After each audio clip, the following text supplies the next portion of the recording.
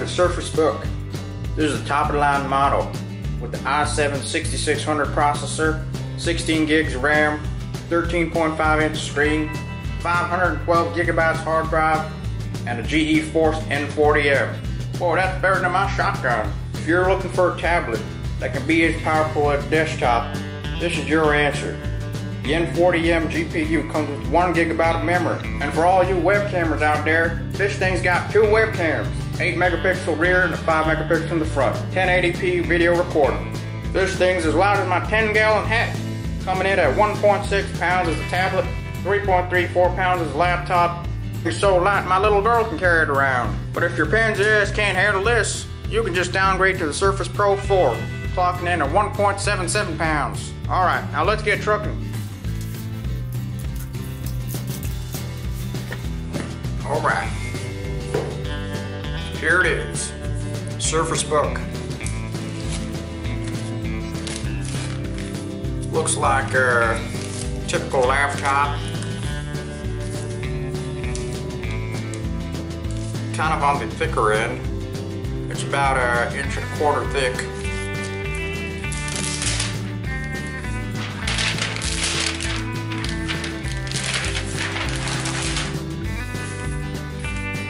We have the manual in here, which I'm not gonna read. And we got the stylus. And then we got the power cord over here. Let's see how big it is. I can't carry too much. So it's the same size as the Surface Pro 4. Very compact and portable. Put that aside.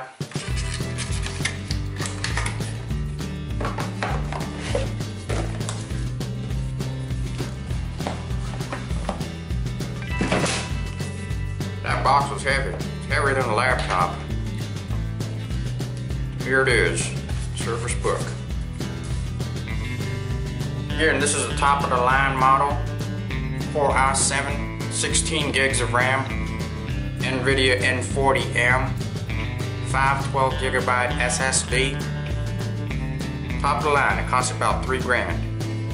So as you can all tell,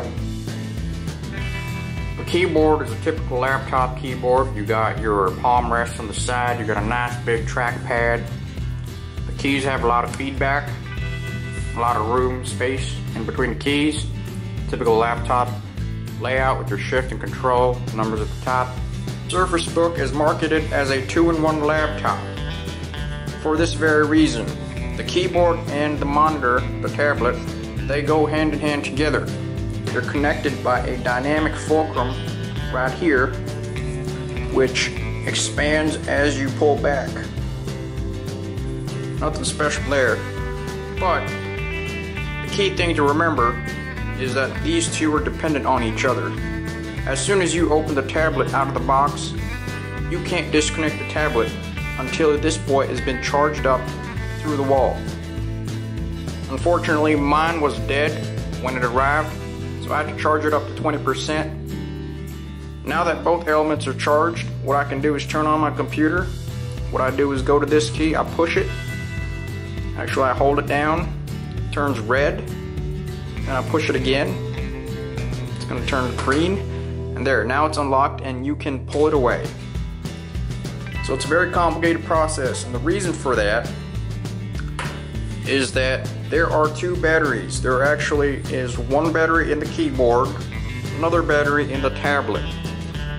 Now, the NVIDIA 940M is stored in the keyboard right here, not in the tablet. So, there's kind of this power play that you're gonna have to deal with.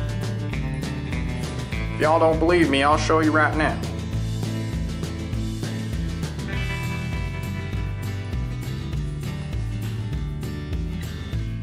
There it is. Battery 1, battery 2. So you actually have to have both pieces charged at 100% if you want to take full functionality. That brings me to my next point.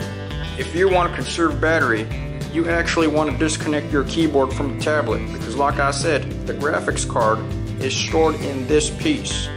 So if this guy is connected to him, he's going to eat up the battery from here. So once you disconnect the keyboard, this thing is going to last a lot longer. So I'm going to connect the screen back on. Now it's locked in. Now coincidentally, I have the Surface Pro 4 here, which I can show you how similar it is or how different it is from Surface Book. These two laptops are about as different as my brother and sister. Biggest difference, of course, is the screen. You got 12.3 inches on the Surface Pro, 13.5 on the Surface Book. A lot more real estate to work with over there. These are both touchscreen laptops.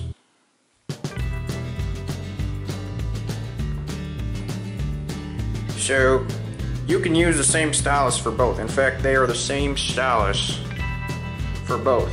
They both have the clicker on the top as well as the second button right here on the side.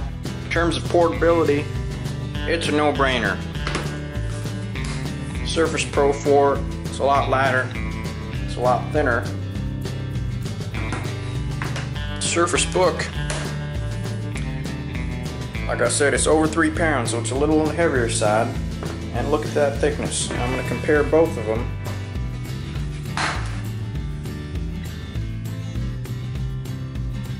Significantly thicker. Of course, with the Surface Pro 4, you don't have to juggle or worry about two separate batteries. The Surface Book is more of a professional gaming entertainment laptop that you can take on the go, but also disconnect and use as a tablet. The Surface Pro 4 is more of a tablet computer with a keyboard add-on. It all depends on who you are. Remember, this guy costs about $1,000. This guy costs 3 grand. The price for performance and portability is a high one. Anyways, that's it for me guys. We're going to have an in-depth review for both of these laptops soon. We're going to have some benchmarks and some gaming tests. See you soon.